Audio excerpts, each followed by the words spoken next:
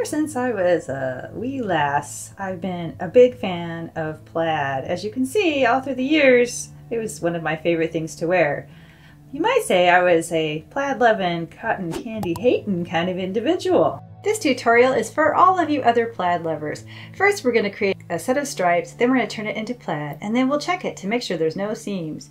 Then I'll show you how to improve on your digital plaid using masking and a brush from my plaid maker set. And you'll wind up with this really cool holiday plaid. Then we'll move on to the Mad for Plaid texture brushes and make this second irresistible plaid. We're starting inside of my website just because I want to show you a couple tools that we'll be using today. We're going to be going to the freebies and getting the Winter Plaid palette set for free, just instant download.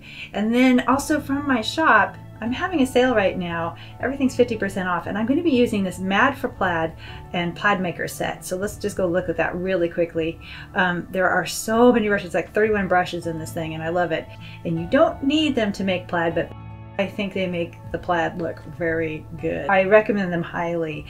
Okay, that said, let's go over to our tools and our pattern checker. We're just gonna get this ready. And also I wanted to point out, if you have visited my site before or purchased things from me before, I used to be Pinecone and Pencil, but I decided to change my name so that it was more lined up with my YouTube channel, which I spend a lot of time on. Okay, now I'm gonna go up to my three dots here, push that over to the side, and then open up um, Procreate here. I have a 12 inch by 12 inch canvas at 300 dpi. The first thing we're going to do is we're going to come over to our layers and we're going to drop on the layer one this first red from the winter plaid uh, collection or palette sorry. Okay and then we're going to create a new layer on top of that. And then we're going to come over to our palette and we're going to skip this lighter color. We'll come back to that in the end. So we're going to select that really dark color there. We're going to go over to our selection tools and we want to have rectangle and color fill um, selected or enabled, so both blue. Okay, then I'm just going to draw a big rectangle here and another one right here. Actually, I think that's probably about the same size, thereabouts. All right, and then the next thing I want to do is um, same layer, different color. We're going to come to this nice little blue for a highlight, and then we're going to put a couple more in here.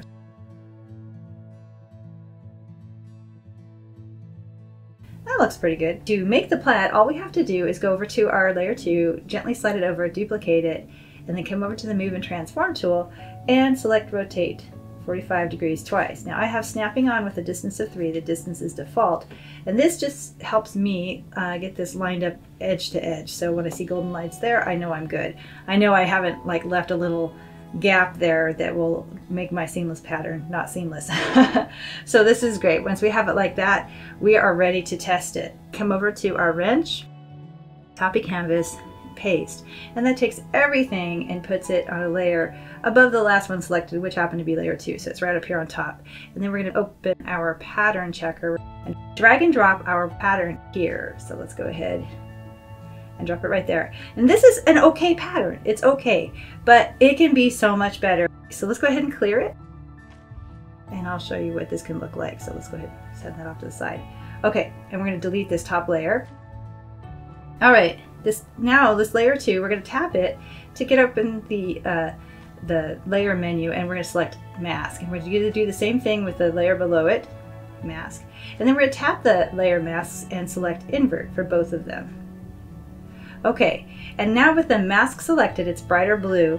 We're gonna, we, we already have white. We're gonna come over to our brushes and underneath the plaid maker, we're going to select either the horizontal or the vertical, depending on which layer we're working on. So we've got horizontal already selected. Let's go find the horizontal layer. Okay, this is the horizontal layer. So let's go ahead and now we're going to lay down color and reveal the stripes underneath because that's what masks do. So whenever it's black, it's hidden and then when you put white, it reveals it. And so it'll make some nice sort of stitch looks to it. So we're just going to just go for it here.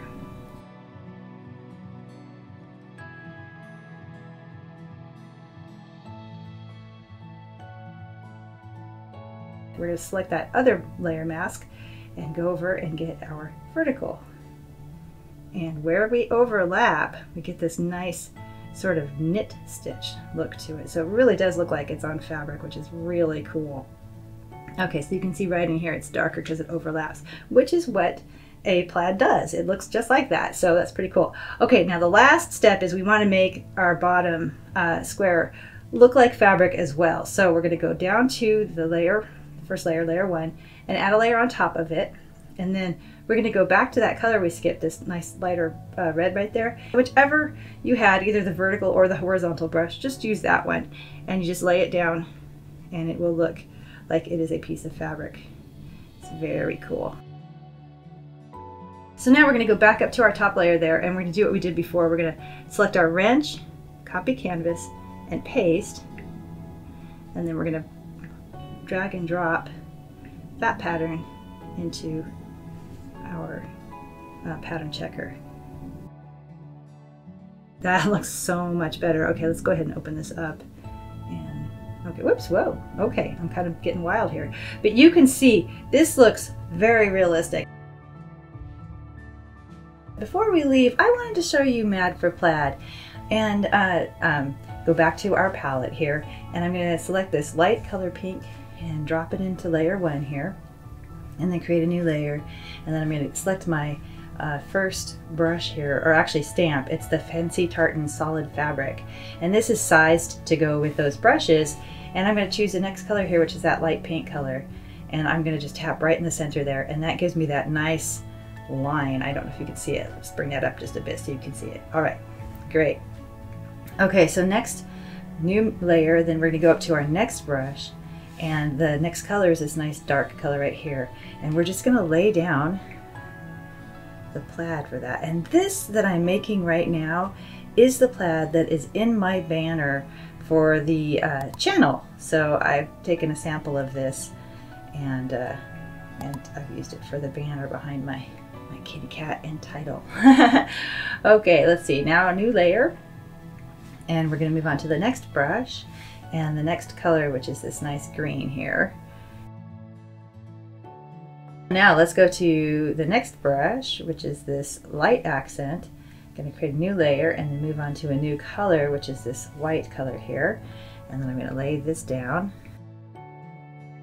Now we're ready to move on to our very last brush, and let's see um, a new layer and a new color so this nice light blue here now let's zoom in so you can really see this plaid I just love this plaid it's so cool Thanks for watching and sharing your time with me. If you've enjoyed this video, I'd like to recommend the next playlist on pattern making. Meanwhile, I hope your day is amazing.